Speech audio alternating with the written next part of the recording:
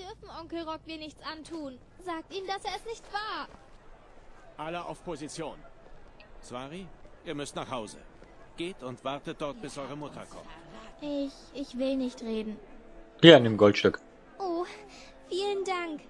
Mögen die Göttlichen euer gütiges Herz segnen. Danke, dass ihr mit mir geredet habt. Ihr solltet ihr sagen, dass ihr Onkel ein Dreckskerl ist, der seinen Großkönig verraten hat. Besser, sie erfährt es gleich, Adva. Ihr seid zu gütig, Vivien. Rockwehr, ihr habt Ulfrich Sturmmantel geholfen, aus dieser Stadt zu fliehen, nachdem er Großkönig Torrik ermordet hatte. Indem ihr das Tor für Ulfric geöffnet habt, habt ihr die Bewohner von Einsamkeit verraten. Er verdient es nicht zu sprechen! Es ist überhaupt kein Mord geschehen. Lügner. Ulfric hat Torrik herausgefordert. Was? Er hat den Großkönig in einem fairen Kampf besiegt. So ist es bei uns Brauch. Dies ist die uralte Tradition von Himmelsrand aller Nord. Das sagt die Hochhelfe natürlich. Nee, das war die gar nicht. So viele Leute, alle am Gaffen. Was? Am heutigen Tage breche ich auf nach Sovengarde. Hau ab. Holy shit! Das ernst? Und alle hauen sie ab. Eine schöne Torwache wart ihr. Ja gut, ähm, anscheinend jemand, der Ulfric geholfen hat. Wir reden mal mit den Leuten, solange sie alle versammelt sind. Machen wir doch ein bisschen von der Stadt. Geht. Alle haben keinen Bock auf uns, okay. Hallo, Das muss unbedingt in mein Teil der Edda. okay. Ich kann immer noch nicht glauben, dass er gewusst hat, was er tat, als er dieses Tor öffnete. Hallo. Ein Mann öffnet ein Tor und dafür wird er geköpft? Das kommt mir ziemlich extrem vor.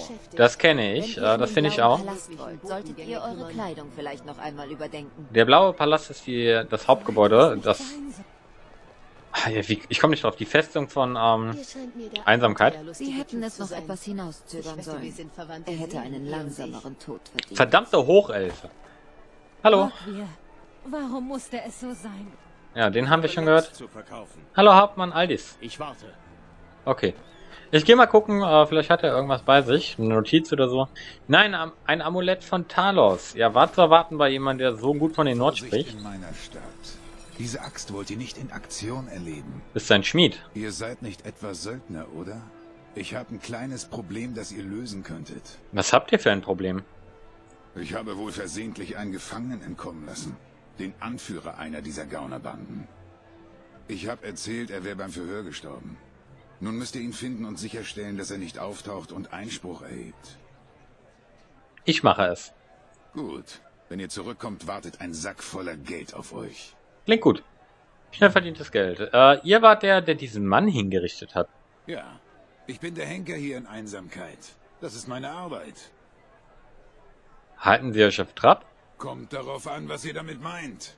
Ich bin auch noch oberster Wärter hier im Kerker. Normalerweise eine ruhige Arbeit. Wann ist die nächste Hinrichtung? Es steht keine an. Aber an dem dürren Hals dieses Yarira würde ich mich gerne mal austoben. Dieser dreckige Argonier hätte niemals einen Fuß in die Stadt gesetzt, wenn Großkönig Torik noch leben würde. Denkt daran, der Bandit soll sterben, nicht leben. Okay, erstmal eine Quest hier angenommen. Ja gut, ich möchte nicht allzu viel jetzt von der Stadt machen. Vielleicht mal einen Alchemisten aufsuchen, das ist eine Schneiderin. Hier gibt's normale äh, Klamotten wirklich. Gemischtwarenhändler. Und sehr interessant für uns, ein Alchemist erstmal. So, ich würde sagen, vorher gehen wir aber zum Gemischtwarenhändler aufgrund dessen, dass wir sehr viel Zeug bei uns haben. So, äh, Bits and Pieces. Gut, ähm, Lydia wird uns jetzt mal unsere ganzen, nee, nicht die Deutsche geben. Die Deutsche behält sie. Die Deutsche werden wir später wie gewohnt verzaubern. Was wir machen werden, die ganzen Handschuhe, die wir nicht brauchen, mal verzaubern. Wir haben ja eine Menge Handschuhe. Und ich würde ganz gerne den Handschuh für die Schmiedekunst auf jeden Fall behalten. Das ist ein wahnsinnig, wahnsinniger Effekt, der da drauf war. Lydia? Nee, du hast sie ja gar nicht. Ähm, wer ist denn hier der Händler? Gisli? Hallo, ich bin Gisli, aber ihr könnt mich einfach Erikos Schwester nennen. Alle machen das. Eriko ist also euer Bruder und ihr habt keinen eigenen Namen? Ja, mein älterer Bruder. Und die Person, mit der ihr jetzt wahrscheinlich reden wollt. Aber seit Torek tot ist, liegt die wahre Macht am Hof des Jarls in den Händen von Falk Feuerbart. Mein Bruder ist nichts weiter als ein aufgeblasener kleiner Gag. Sie scheint ziemlich neidisch zu sein. Aber das scheint mir nicht gerade die beste Einstellung. Wenn ihr nach einer guten Einstellung sucht, geht zu den Barden. Sie spielen sie euch vor. Wenn ihr stattdessen nach Wahrheit sucht, sprecht mit Noster. Er ist ein gutes Beispiel dafür, was das Leben zu bieten hat. Und wenn ihr einfach nur Spaß haben wollt, probiert Yvettes Würzwein. Aber was ihr auch macht, lasst mich in Ruhe. Was für eine Ziege. Okay. Hallo, Seima. Beirand sagte, ihr wäret kurz vor der Hinrichtung hier angekommen. Das muss ja ein schöner erster Eindruck gewesen sein. Ja, aber wer ist Beirand? Beirand ist mein Mann. Er arbeitet in der Schmiede oben im Schloss Elend. Ich sehe ihn aber kaum noch, seit er wegen der Bestellung der Armee so viel zu tun hat. Wart ihr bei Rockys Hinrichtung? Nein. Nein, das war eine üble Geschichte. Der Tod von Großkönig Torik hat die ganze Stadt auf den Kopf gestellt. Und unter uns gesagt, er war nicht mal ein besonders guter König. All die endlosen Reden, das Kaiserreich hier, das Kaiserreich da. Okay, was habt ihr zu verkaufen? Für manche ist es Ramsch. Für mich sind es Schätze. Ja, das sagen die meisten Händler zu uns. Ähm, gut, mein Inventar. Lederarmschienen der Alchemie, 15% sind eine Menge. Schuppenarmschienen der Schmiedekunst, 15% sind mal wieder eine Menge. Allerdings haben wir jetzt orkische Panzerhandschuhe der höchsten Schmiedekunst. Sind mal eben 7% mehr, das heißt die alten. Auf Wiedersehen. Jetzt haben wir die Handschuhe der großen Schießkunst und ähm, des höchsten Führens. Ich glaube, große Schießkunst ist uns neu. Ja, komm, auf die zwei scheißen wir mal. Höchsten Führens werden wir dann erstmal gucken, ob wir das entzaubern können, wenn wir ein Table dafür finden. Gut, damit sind wir ein bisschen gewichtlos geworden.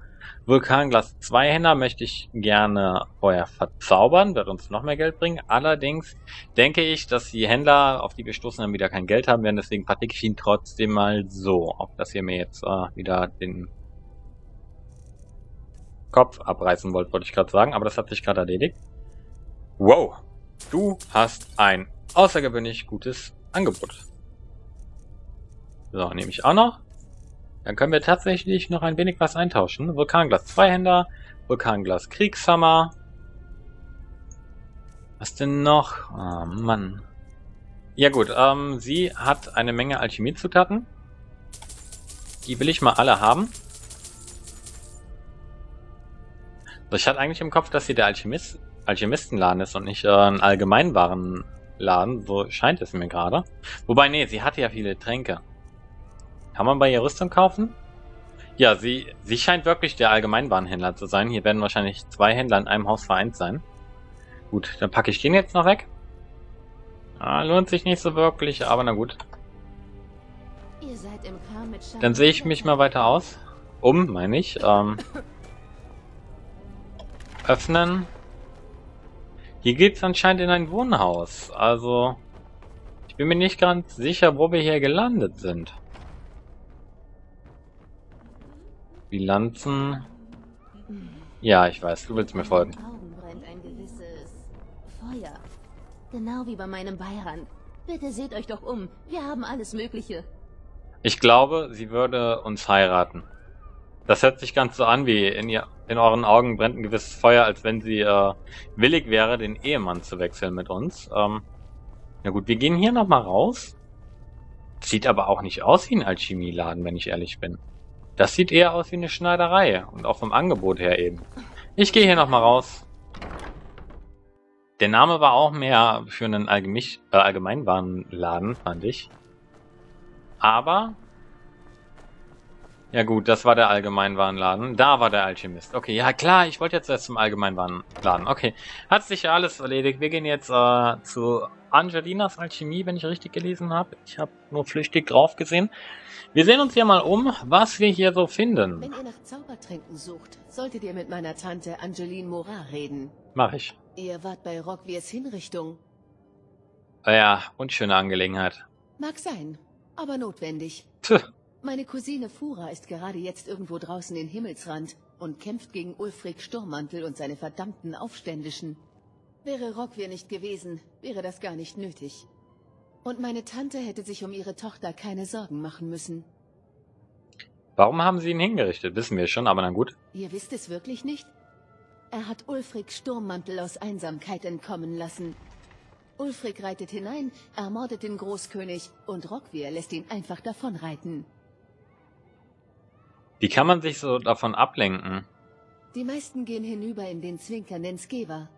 Wenn ihr keine Musik hören und nichts trinken wollt, könnt ihr wenigstens mit Corpulus sprechen. Er weiß immer den neuesten Klatsch. Gut, ich wollte zwar eigentlich direkt die Quest machen, aber ich würde sagen, wir machen jetzt doch direkt. Einsamkeit. Weil ich komme ja irgendwie doch nicht drum rum. Hallo? Ja, ich will handeln. Ihr kommt doch viel herum, oder? Wart ihr schon in Weißlauf? Ja, in der Tat. Worum geht es denn? Wunderbar. Ich hätte nicht erwartet, tatsächlich jemandem zu begegnen, der dort war. Meine Tochter Fura. Nach ihrem Eintritt in die Armee wurde sie in Weißlauf stationiert. Ich hatte gehofft, ihr wärt ihr vielleicht begegnet. Ich glaube noch nicht, ich nein. habe in letzter Zeit nichts von ihr gehört. Ich habe versucht, mit Hauptmann Aldis zu reden, aber ihr war überhaupt keine Hilfe. Ich habe sie noch nicht getroffen, aber ich könnte versuchen, noch mehr Informationen zu erhalten. Das ist wirklich sehr nett von euch. Ich wäre euch für jede Neuigkeit dankbar, die ihr Hauptmann Aldis entlocken könnt. Okay. Könnt ihr mich in Alchemie unterrichten? Äh, wollen wir nicht? Armolädchen, Aromalädchen. Ihr verkauft also Parfüms. Okay. Wir führen hauptsächlich Kräuter- und Alchemiezutaten. Vor dem Krieg wurden unsere Waren aber größtenteils als Aromastoffe für den Hausgebrauch verwendet. Heutzutage besuchen uns oft auch Leute wie ihr, auf der Suche nach Heilmitteln und Ähnlichem. Okay, äh, was habt ihr zu verkaufen? Werft einen Blick darauf. Hoffentlich eine Menge. So. Ähm, ja, gefällt mir schon nicht, was ich so sehe. Zu wenig Weizen. War nur gut, wir kaufen sie mal wieder auf. Wieso kann ich nichts kaufen? Ach, weil das neun sind, okay. Ja, man sieht schon, hier gibt's viel Lavendel. Wir haben ja schon vor der Stadt viel Lavendel gesehen. Auch viele Todesblumenglocken, weil vor der Stadt davon auch viele rum sind. Ähm, ja, wir haben knapp 1000 für Alchemie ausgegeben. Cool. Dann würde ich noch gerne starke Heilung und normale Heilung kaufen. So, jetzt würde ich selber gerne ein wenig Alchemie wirken in diesem Laden. So, dafür wählen wir mal alles aus, was mit Alchemie so zu tun hat. Die Lederarmschienen, geringe Alchemie, geringe Alchemie, Diadem der geringen Alchemie. Ich glaube, das war's schon. Ja, ich glaube, mehr haben wir nicht. Gut. Denkt an mich, wenn ihr das nächste Mal Kräuter und Zaubertränke braucht. Ich dachte schon, sie sagt jetzt Braut und ich würde nicht so gerne äh, an sie denken, während ich meine Tränke bei ihr mache. Ah ja, ähm, wir hätten gerne Gesundheit wiederherstellen, wie immer. Weil das schöne Tränke sind. Nicht so gut. Schon besser. Nicht so gut. Schon besser. Ja, das klingt gut hier, die Kombination. Das waren eine Menge Tränke, damit bin ich schon zufrieden. Den werde ich jetzt nicht herstellen, weil ihr habt ja gesehen, der gibt weniger. Ähm, dann würde ich gerne meine Feuerresistenzen wieder ein bisschen hochpushen. Ja, ja, ja, ja, ja. Das reicht mir schon. So, ähm... Abwählen bitte wieder. Ich möchte nicht so viel machen. Ich möchte nur genug haben, um mein Geld wieder zurückzuverdienen. Unsichtbarkeit gerne. Dann hätte ich gerne... Gerne, gerne, gerne, gerne, gerne... Ausdauer wiederherstellen. Ja, ja, die ganzen einfachen Tränke. Schlammkrabbenchitin, sehr nützlich. So, das sollten genug Tränke fürs Erste gewesen sein. Ich denke, ähm, Es ist schön. wir schauen Ah, erstmal, was wir ihr verkaufen können. Also ein Alchemist? Und was ich für ein Alchemist bin. Alte Lady. So, erstmal will ich meine Gifte loswerden vom letzten Mal noch. Zack, zack, zack. So, Unsichtbarkeit, die alten können weg. Unterdruck der Stärke behalten wir für Notfälle. Ist okay, ist okay, können weg. Kann weg, kann weg, kann weg. So, und jetzt hat sie noch 1800. Jetzt werden wir versuchen, Trash-Tränke zu machen. Ach Quatsch, ich muss mich ja dafür umdrehen. Ich hätte jetzt auch wieder Klavis Weil anziehen können, aber ich habe es mal wieder vergessen. Ich versuche, neue Effekte zu lernen. Schleichen verstärken. Nichts. Nichts. Nichts. Doch, Anfälligkeit für Gift. Anfälligkeit für Gift ist sogar richtig gut. Der drei Herz behalten wir. Weg. Drachenbaum damit. Weg. So, die wertvollen Stoffe möchte ich behalten möglichst. Genauso wie die blauen. Ach, die haben ja gar nicht Gesundheit heilen drauf. Okay, dann trashen wir die auch mit anderem Zeug. Kaniswurzeln. Ach, das wissen wir sogar schon. Drachenbaum. Ja, das wird jetzt mal wieder einfach nur wildes Rumprobiere miteinander. Ich mach mal von unten an. Zweiglingsaft ist ein ziemlich wertvoller Gegenstand eigentlich, aber ich versuch's. Ich möchte sehen, ob ich da irgendwas draus machen kann. Vielleicht mit der Tollkirche. Magika, Regeneration senken. Weißkappe mit Wacholderbeeren, das klingt doch lecker. Weißkappe mit violetter Bergblume, nein. Wacholderbeeren mit Bergblumen, nein. Tundra-Baumwolle, Bergblume. Mit Todesglockenblumen werden wir wahrscheinlich jede Menge Gifte hinkriegen. Ich probiere mal mit allem ein bisschen aus. Skiverschwanz, vielleicht damit. Tatsache kennen wir aber schon. Schneebären, nope. Schlachterfischschuppen, nope. Schlachterfischei, nope. Schimmerpilz, nope. Salzelläre behalten wir, Salz behalten wir, rote Bergblume ist ein Gift, Riesenzee ist kein Gift, hätte ich mir vorstellen können. Riesenflechte, Anfälligkeit für Gift, Todesblume mit Pfahlwurzel. Ich probiere mal wieder von der Mitte aus Nirnworts mit ähm, den Todesglocken kennen wir wahrscheinlich schon. Boah, wir haben so viele Zutaten. Ich mache mal einfach alle Elixiere, die ich kann und guck, was übrig bleibt. Auch die Frostsalze weg. Ich will einfach nur gerade ganz viele Tränke machen. Wir haben so viele blutende Kronen. Wir kriegen jetzt so viel Schrott raus. Ausdauer senken. Ausdauer verstärken. So, jetzt haben wir schon einiges weniger. Feuerresistenz. Rostresistenz. Gesundheit regenerieren. Gesundheit senken. Boah, wie viele Tränke wir jetzt gleich einfach haben. Und wie wenig Erfahrung uns das gibt. Das ist so lächerlich eigentlich.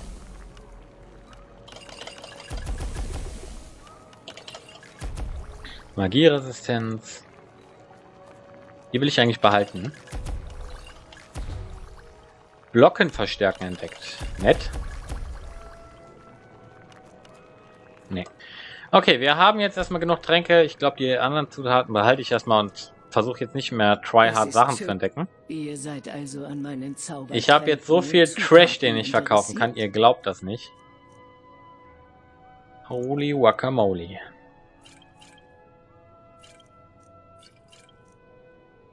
Weg.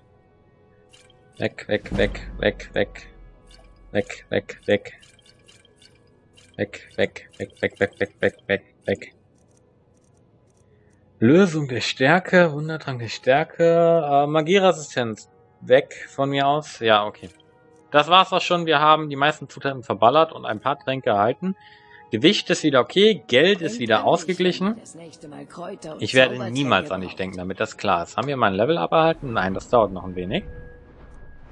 Ich gucke mal, wie weit unsere Alchemie inzwischen ist. Wir könnten theoretisch jetzt schon den Experimentator skillen und da fand ich schon zwei Wirkungen bei mehr Gegenstände essen. Das ist einer der besten Skills im Alchemiebaum, finde ich. Gut, gehen wir weiter. Ähm, ich muss mal eben auf meinen Timer gucken. So, vier Minuten haben wir noch. Ich bin ganz ehrlich, wenn es um Alchemie in Skyrim geht, versuche ich immer, das möglichst schnell hinter mich zu kriegen. Ich mag die Alchemie-Geschichten in Skyrim meistens nicht. So, ich hätte mir meinen Hut aufziehen können, aber na gut. Ich ziehe mir meine normale Rüstung wieder an. Episch, episch, episch. Hatte ich die nicht an? Ich weiß es nicht. Ich hoffe, ich hatte ihn an. Okay, ähm... Die Frage ist jetzt mehr von der Stadt oder nicht? Als hoher Priester der acht Göttlichen heiße ich euch willkommen. Wer bist denn du? Ich bin gerade leider mit Botengängen beschäftigt. Ja, ja, ja, ja. Okay, ähm... Gut, ich würde mal sagen, wir kontrollieren mal die Ecke hier noch. Und danach lassen wir den Trakt, das ist übrigens die Schmiede, und den weiteren Trakt, den Haupttrakt der Stadt, erstmal hinter uns. So, dass wir erstmal Stück für Stück was machen. Dann haben wir quasi ein gutes Drittel von Einsamkeit entdeckt und können dann erstmal mit der Hauptquest weitermachen. So. Was bist du für ein Typ? Advar, kennen wir schon. Hier gibt es reichlich frischen Fisch für euch. Ihr und eure Tochter wart bei der Hinrichtung. Swari, ja. Es war hart für sie. Sie vermisst ihren Onkel. Ich habe zu erklären versucht, dass Rockby etwas Schlimmes getan hat und jeder für seine Aktion verantwortlich ist, aber ein Kind fühlt da anders. Wo fangt ihr die Fische? Unten am Hafen.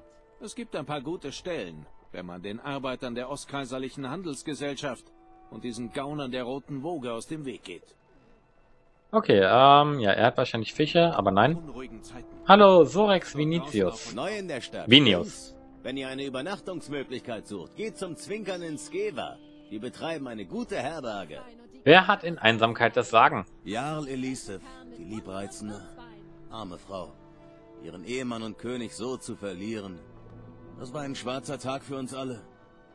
Verdammt, das erinnert mich daran, dass ich ihrem Vogt Falk Feuerbart noch etwas liefern muss. Er hat eine besondere Flasche Rum von Stross Mackay bestellt. Die Lieferung kann ich für euch übernehmen.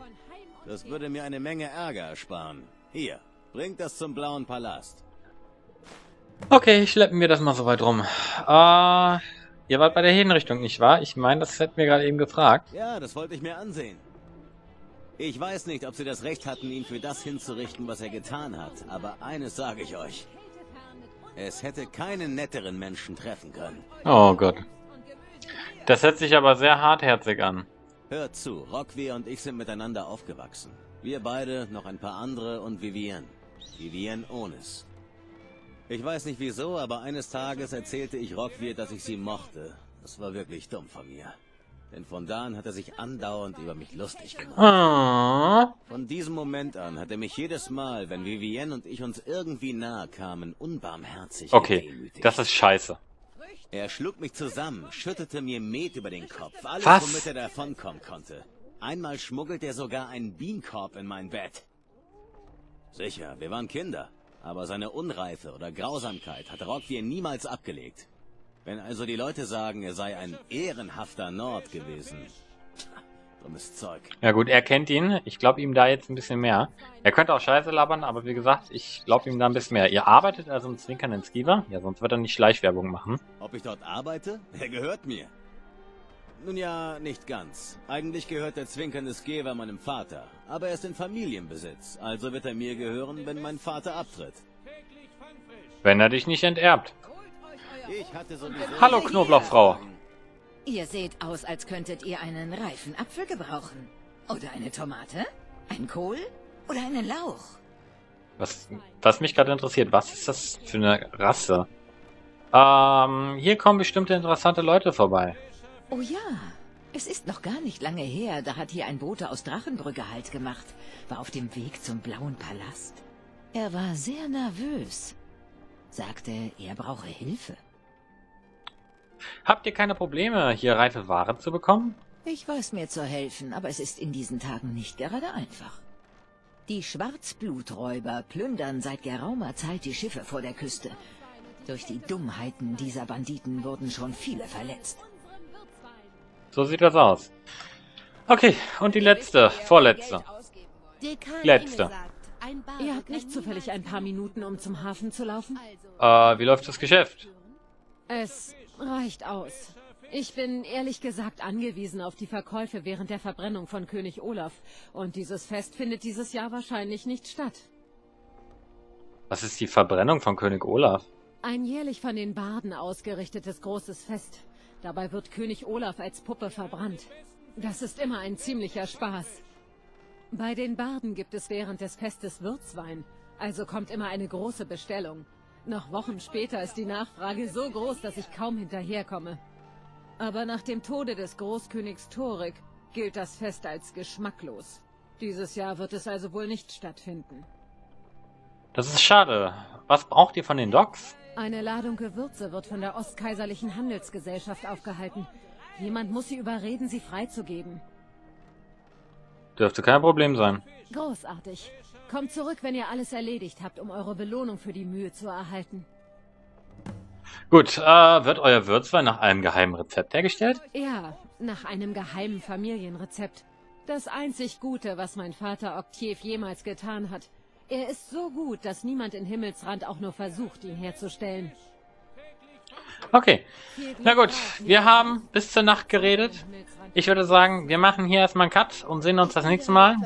Wir haben jetzt ein gutes Drittel hier durch, eine Menge Quests schon, die werden wir das nächste Mal äh, machen, nachdem wir die Hauptquest fortgeführt haben. Aber bis dahin würde ich sagen, vielen Dank fürs Zusehen und bis zum nächsten Mal. Ist das schön, wenn Lydia nicht in der Nähe ist.